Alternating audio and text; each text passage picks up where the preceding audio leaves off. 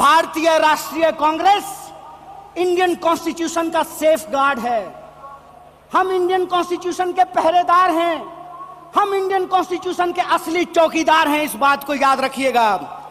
और Indian constitution इस बात को रिजॉल्व करता है we the people of India और यह जो we the people of India है, इसमें, इस देश में रहने वाले वो तमाम लोग, चाहे हिंदू हो, मुसलमान हो, सिख हो ईसाई हो, जैन हो, पारसी हो, बुद्धिस्ट हो, या वैसे भी लोग जो किसी धर्म को नहीं मानते हैं, वो सब भारत के लोग हैं।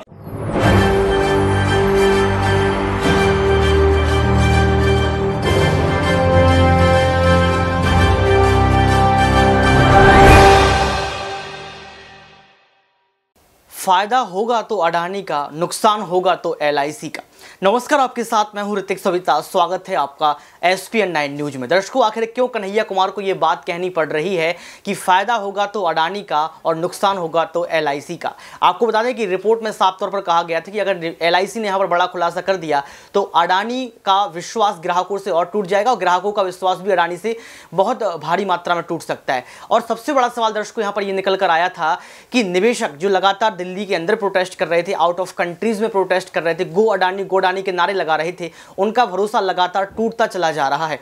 यहाँ पर पहले कन्हैया कुमार की इस वीडियो को सुनिए, जिसमें साफ़ तौर पर उन्होंने सवालिया निशान यहाँ पर खड़े किए हैं। भारतीय राष्ट्रीय कांग्रेस इंडियन कॉन्स्टिट्यूशन का सेफ़ गार्ड है।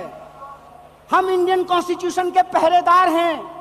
हम इंडियन कॉन्स्टिट्यूशन के असली चौकीदार हैं, इस बात को याद रखिएगा और इंडियन कॉन्स्टिट्यूशन इस बात को रिजॉल्व करता है we the people of India और यह जो we the people of India है, इसमें, इस देश में रहने वाले वो तमाम लोग, चाहे हिंदू हो, मुसलमान हो, सिख हो, ईसाई हो, जैन हो, पारसी हो, बुद्धिस्ट हो, या वैसे भी लोग जो किसी धर्म को नहीं मानते हैं, वो सब भारत के लोग हैं और उनके हकूक के लिए, उनके अधिकार के लिए कल्याणकारी राज्य की अवधारणा को बचाए रखने के लिए भारतीय राष्ट्रीय कांग्रेस संघर्ष करेगी।